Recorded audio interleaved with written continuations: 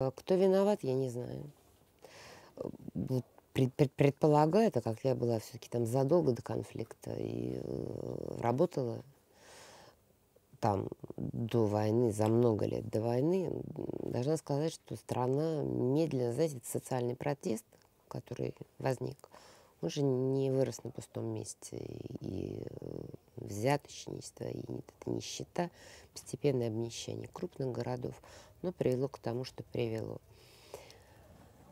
Э, Для будущего, естественно, хочется мира, и э, я даже не могу представить себе мысли, что наши близкие страны, я полукровка, у меня мама украинка, а папа русский, я не могу представить, что мы будем такими врагами, какие мы сейчас есть, ну, например, в социальных сетях или еще где-то мы один народ, и, в общем, мы будем дружить.